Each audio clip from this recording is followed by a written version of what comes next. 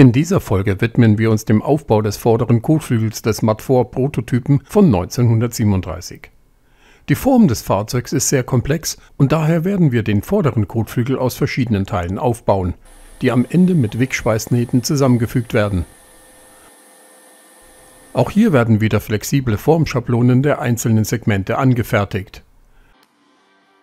Damit die eingezeichneten Informationen der Formschablone auf das umgeformte Blech übertragen werden können, werden maßgebliche Punkte mit einer Lochstanze aus der Schablone ausgestanzt.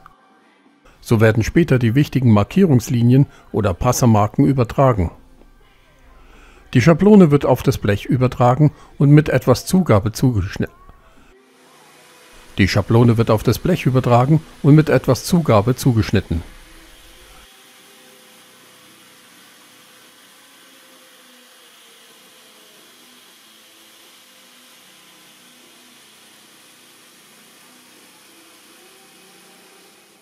An der Rollenstreckmaschine wird über die obere Rolle ein Gummiband gezogen.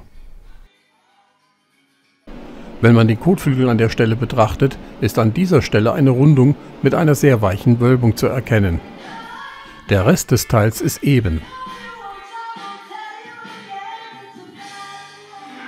Das Gummiband rundet das Blech, ohne das Blech zu strecken. Dadurch entsteht erst einmal eine Wölbung im Blech.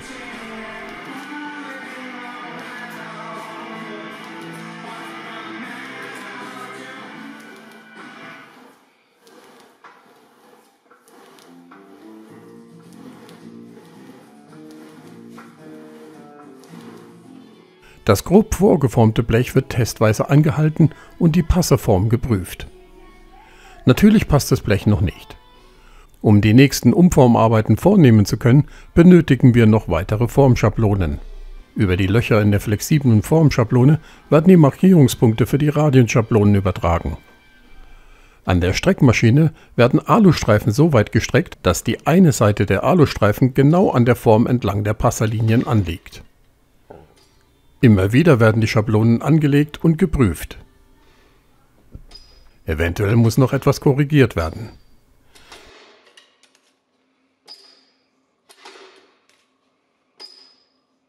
Die Schablonen werden für jede Passerlinie angefertigt. Im nachgefertigten Blech fehlt noch die Wölbung im oberen Übergangsbereich. Diese Wölbung wird am Sandsack in das Blech getrieben. Da die Wölbung nur sehr leicht ist, wird das Blech nur sehr weich in den Sandsack getrieben. Es wird die stumpfe, es wird die stumpfe Seite des Treibhammers verwendet. Die entstandenen Unebenheiten werden wieder an der Rollenstrickmaschine geglättet.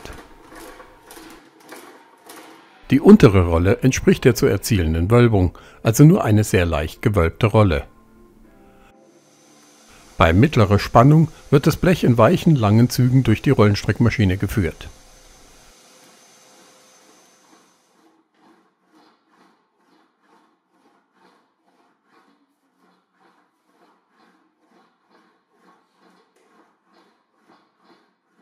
Zwischendurch wird immer wieder die Radienschablone angelegt. Dadurch erkennt man sehr schnell, wo das Blech noch nachgefertigt werden muss. In unserem Fall fehlt noch etwas bis zur finalen Wölbung. Daher wird das Blech nochmals etwas in den Sandsack getrieben.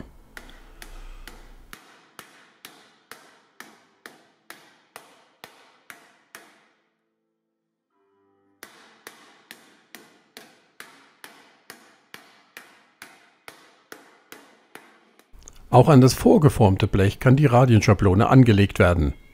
So arbeitet man sich an die grobe finale Form hin.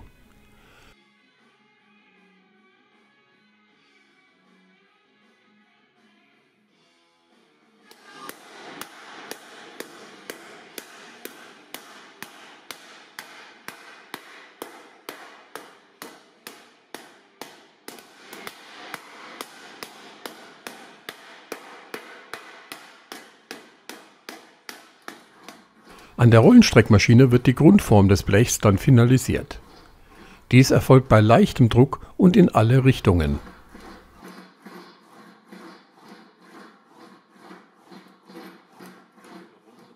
Dies ist wichtig, damit das Blech nicht nur in eine Richtung gestreckt wird.